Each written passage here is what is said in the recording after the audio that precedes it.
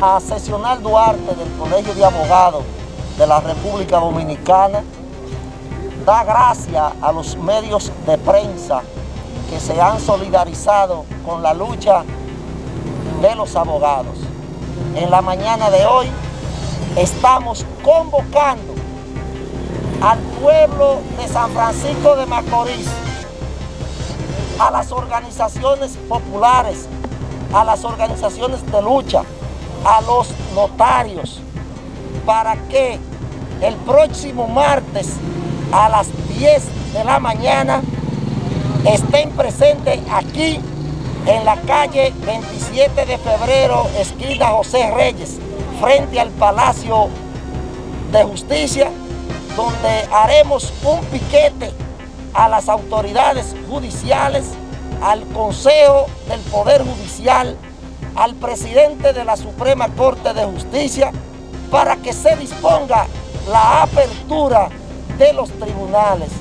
Nosotros rechazamos tajantemente la decisión tomada en distintas resoluciones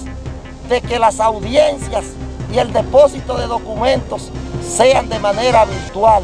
lo que violaría el derecho de defensa, el debido proceso de ley consagrados en el artículo 69 de la Constitución Dominicana. Asimismo, llamamos a la solidaridad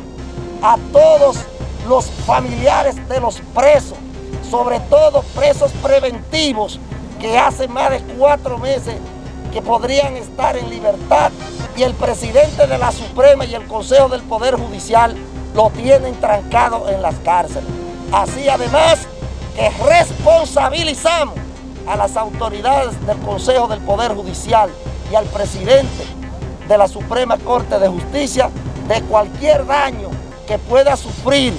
un abogado, un notario, un preso y cualquiera de nosotros que por su actitud dictatorial hoy tiene a muchos abogados pasando hambre, abogados que no tienen ni siquiera con qué comprar los medicamentos que consumen.